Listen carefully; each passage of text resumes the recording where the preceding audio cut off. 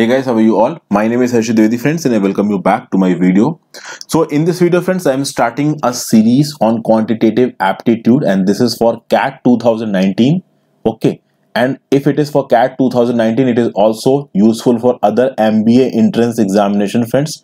And obviously this series on quantitative aptitude, it is used full for all those examination in which questions related to quantitative aptitude will be asked friends also, in addition to this quantitative aptitude series, I will also be taking up data, interpretation series and logical reasoning series. So obviously this is part 1 of quantitative aptitude, then will come the part 2 of quantitative aptitude, then 3, 4, 5, 6. Similarly, I will start with part 1 of data interpretation, then part 2 of data interpretation, then part 1 of logical reasoning, part 2 of logical reasoning. And uh, you know friends, I started this channel with quantitative aptitude videos of CAT okay. Now but previously when i made the videos the videos were quite long friends. It, they were very very long. So obviously despite the quality of you know i made the highest quality videos i told the best quality concepts but obviously the views were not more because people are looking for short tricks shortcuts. So obviously here i will i will try to strike a proper balance between short tricks shortcuts okay and things that are useful for your exams because actually i believe in giving genuine content friends so this is my target strategy and the questions that I will be discussing here will be of a slightly higher level friends because of easier level questions like SSC, CGL level and Bank PO level questions are being covered by a lot of websites. So here I will try to increase my level a bit friends. So this is presented by me Harshit Dwivedi friends. If you want to follow me, the link of my Instagram profile is given in the description box below. You can search me on YouTube friends Harshit Dwivedi. You can subscribe to this channel if you are watching this video on my own YouTube channel friends okay this video is in english. The hindi link is also given below. The first question that we are going to discuss today is friends that it is being said that the area of a quadrilateral okay now there is a quadrilateral suppose whose sides are 2 meters 5 meters 10 meters and 11 meters. So what can be the maximum area of that quadrilateral? This is the question. Options given is 30 square meters 40 square meters 36 square meters or we cannot you know calculate the upper limit of this quadrilateral. So the four size or the four uh, you know length the four sides of the quadrilateral length is given to me and I have to find out the upper limit of the area of this quadrilateral. So this is the first question that we are going to discuss friends. Then the second question that we are going to discuss is something like this that a mixed doubles tournament is going on a lot of mixed double tournaments are going on friends okay so if you follow tennis you will be knowing about this in a mixed double tournaments on one side there is male and female there is a group of one male and one female. And on the other side there is a group of one male and one female. So one team is consisting one male and one female. So this is that sort of mixed double tennis tournament. Now how many players are participating in this mixed doubles tournament? Obviously eight players are participating in which four are males and four are females. The condition here is that in every round every possible pair will play against every other possible player. So this is the condition which is being given to us friends. And obviously after every round, one female and one male will be eliminated. That is the losing pair of that particular round will get eliminated. Okay. Now this is very quite obvious friends that if there are four pairs, okay, you can say that uniquely there will be four players because four males and four females are there so obviously there will be three rounds and after three round one pair will be remaining and that will be the winning pair.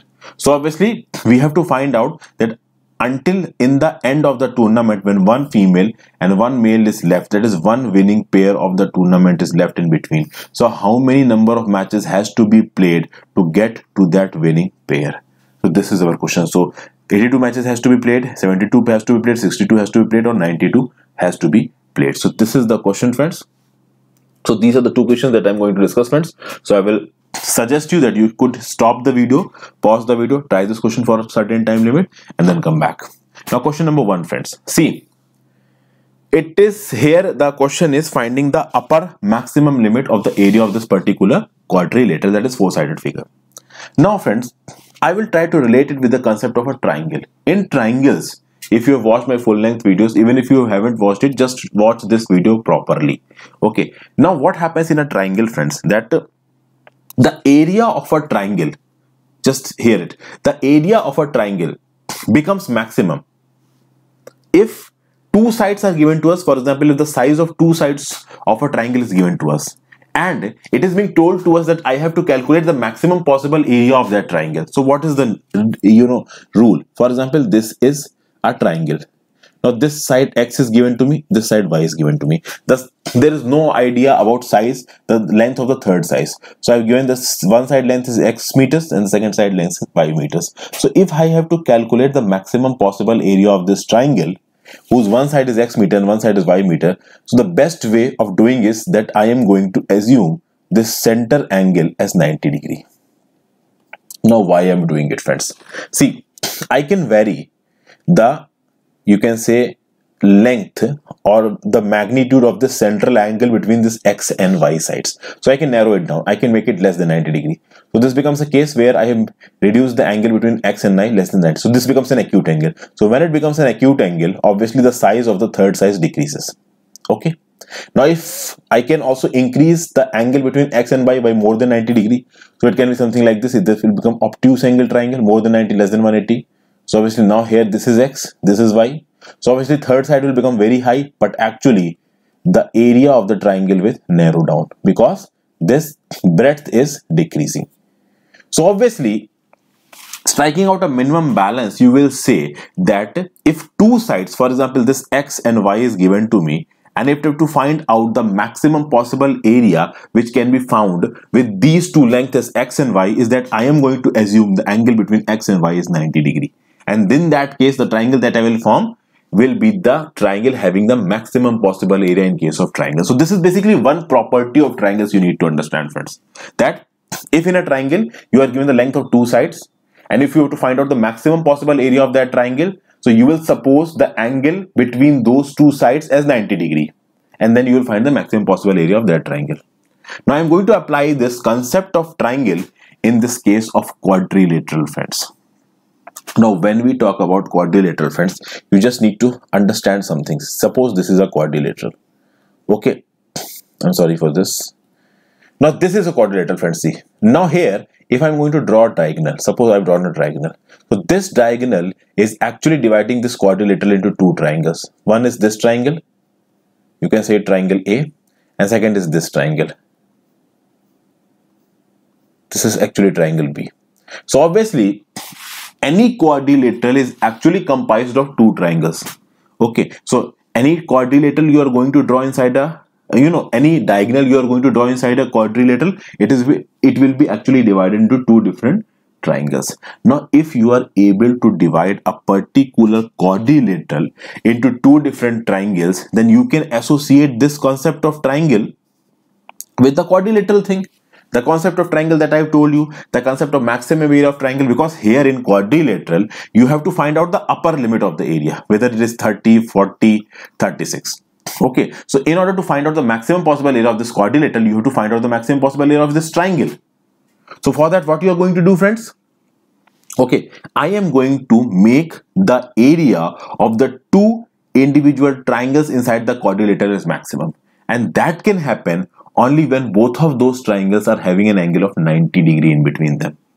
Now the problem here is friends that the length of all the four sides is given. So for example, if I am drawing a triangle here, suppose this is side 2, this is side 5, this is side 10 and this is side 11. Suppose this is being drawn by me. Okay.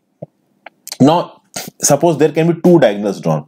One can be this diagonal now, according to this diagonal friends, okay, if I am marking this angle as 90 degree and if I am marking this angle as 90 degree, so obviously square of this side plus square of this side is equals to square of this side plus square of this side because this diagonal is common to this triangle also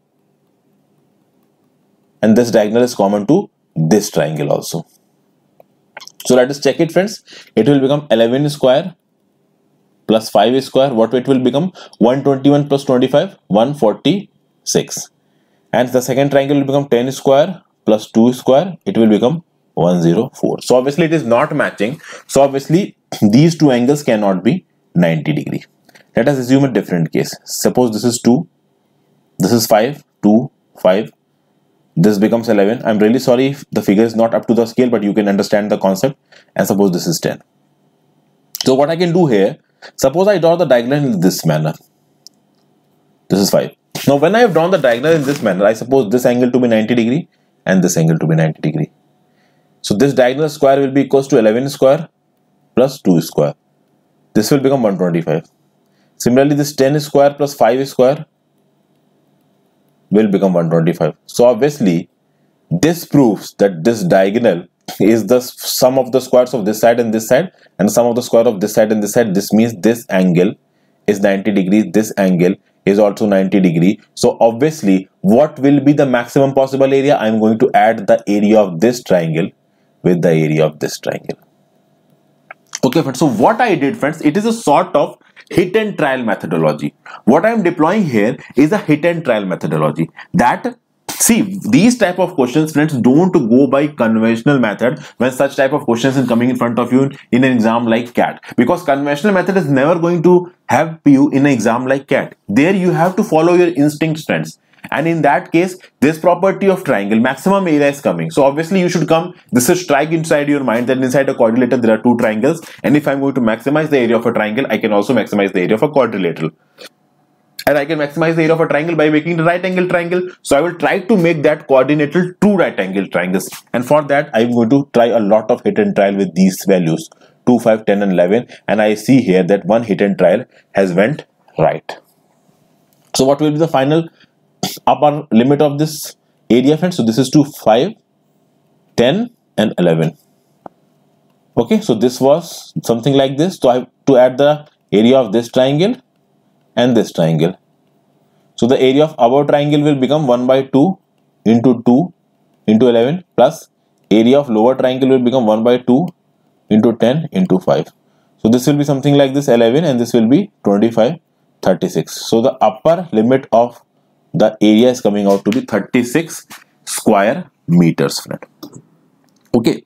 So the answer here is option 3 okay friends so this is the methodology of moving forward in this question friends. Coming on to our next question question number two.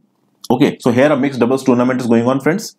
There are four males and four females participating. I've already explained you the question. Let's go on to the solution straightforward. So for example a match is happening friends here. See. Okay so in this match, friends, obviously four players would be playing. Okay. Though in these four players, two will be males and two will be females because it is a mixed doubles tournament in which one in one side is having one male and one female so this is actually told in the question only. So obviously if on one side there is one male and one female so other side there will be one female one male. So obviously in a match there are two males and two females. So one match is happening then there are two males and two females. Now how many total males and total females are there? Four and four. So what's the way of selecting two males out of four males? So it is 4C2. And what's the way of selecting two females out of four females? 4C2. Okay friends, so just try to think here. There are a total of eight players, four males and four females. In one match, two males and two females can play. So obviously out of those four males, two males have to be selected and out of those four females, two females have to be selected so the you know ways of selecting two males is 4c2 and way of selecting two females is 4c2 so 4c2 into 4c2 combinations but there is one more element friends in a game there are two males and two females i suppose them to be m1 f1 m2 f2 so this is one combination on one side m1 f1 is there on the other side m2 f2 is there now I can also make this something like this. On one side there is M1 and F2 and on the other side there is M2 and F1. So you can see that in one possible outcome, two outcomes are coming. So I'm going to multiply this 4C2 into 4C2 by 2. Okay, so in a particular match, okay, the amount of pairs that are coming in front of me are 4C2 into 4C2 and there is two more possibilities in every case. That is, I'm going to interchange the males and females on each side of the team. So basically this M1, F1 and M2, F2 became M1, F2 and M2, F1. So multiplied by 2. So this will basically become 4C2 is 6. So 6 into 6 into 2, 72. So if it is not clear to you friends what I've really said, just think about it. Now 4C2 into 4C2 I don't think is very difficult for you because you are selecting 2 males out of 4 males and 2 females out of 4 females. Why multiplying by 2? That is tricky. I will again understand, make it explain to you. In one match there are 2 males and 2 females So obviously I assume them to be one M1, M2, F1, F2. So on one side it can be M1, F1, on the other side it can be M2, F2. But on one side it can be M1, F2 and on the other side it can be M2, F1. So obviously in that one case also two combinations are coming. So I'm multiplying this 4C2 into 4C2 by 2. Okay. Now first round is over and obviously one pair is out. Now when one pair is out, so one male, one female is out. So three females are left and three males are left. Okay. Then again, obviously, in one match, two females will be playing, two males will be playing. So the methods of counting males out of three males is two males out of three males is 3c2 and the methods of selecting two females out of three females is 3c2 again and i'm again multiplying it 2 by the same logic friends. Which logic? This logic which i have explained you here twice. So this will become 3 into 3 into 2 this will become 18 so for finding out the result of first round 72 matches were played. For finding out the result of the second round 18 and then when the second round is over when the second round is over we will move on to the third round. In the third round obviously one more female pair and two one male pair will be gone. So obviously one female will be gone one male will be gone. So two males and two females will be remaining in the third round. And out of these two males two males have to be selected for in a match. So two this becomes 2c2 multiplied by 2c2 why? Because obviously two males are remaining two females are remaining. And obviously in a match two males and two females will be there. Something like this multiplied by 2 by the same logic. So this become 1 into 1 into 2 so obviously two matches. So in third round two matches.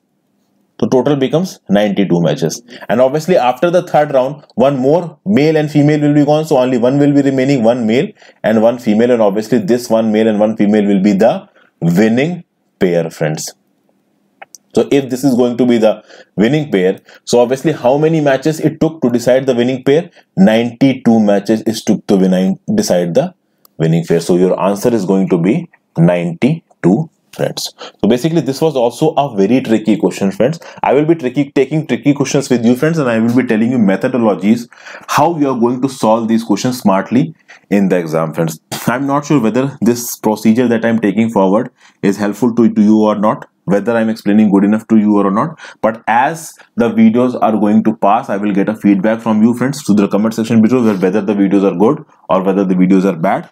Please tell me how you're liking it friends. It is especially for cat so people who are preparing for cat and other MBA entrance examination this is very very useful for you guys. So thank you for watching this video friends. If this if you think this video was really helpful for you friends kindly share this video and especially the quantitative aptitude video playlist with your friends who are preparing for CAT examinations in groups which are dealing with CAT examination preparation and other MBA entrance examination preparation. Also, who is curious about maths, who is curious about maths can watch these videos, who are preparing for other aptitude exams in which quantitative aptitude is coming they can also watch these videos. You can have a conceptual clarity here. But yes the level of the questions will be higher. So thank you for watching this video friends. Please subscribe to the channel and like this video